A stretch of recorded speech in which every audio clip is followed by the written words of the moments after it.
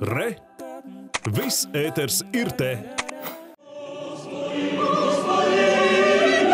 Jau 25 gadus valsts akadēmiskais koris Latvija un tā mākslinieckais vadītājs Māris Sirmais klausītājus aicina uz vienu no vasaras centrālajiem akadēmiskās mūzikas notikumiem – Starptautisko garīgās mūzikas festivālu, kurā piecos dažādos koncertos koris kā spošs instruments parādījās ļoti dažādos rakursos.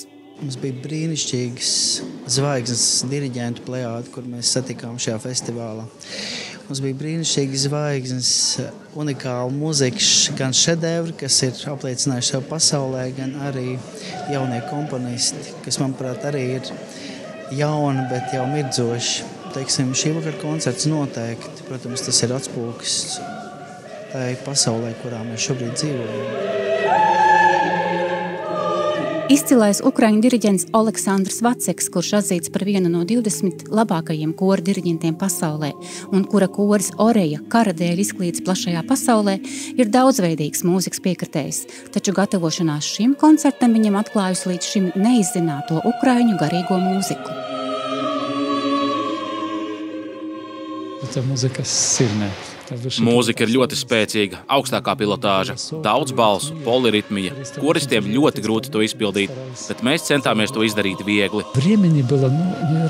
Laika bija neticami maz, un izveidot kaut kādu interpretāciju ir grūti. Es vienkārši stāvēju, kaut ko rādīju un jūtu, ka viņu dvēseles atsauksies un viņi sapratīs. Jo var jau tā līdzena dziedāt bez emocijām, kā lasot mācību grāmatu, neieliekot dvēseli, bet var ar sirdi, un daudzus skaņdarbus mēs centāmies dziedāt ar sirdi. Jau vairākus mēnešus korī Latvija dzied Natālija un Sergejs no Kīvas.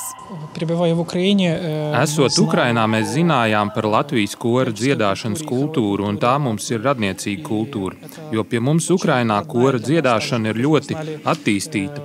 Mēs zinājām par vairākiem Latvijas kolektīviem, konkrēti par šo kori, radio kori un Avesol. Mēs atsūtījām video, un mums atbildēja šis koris.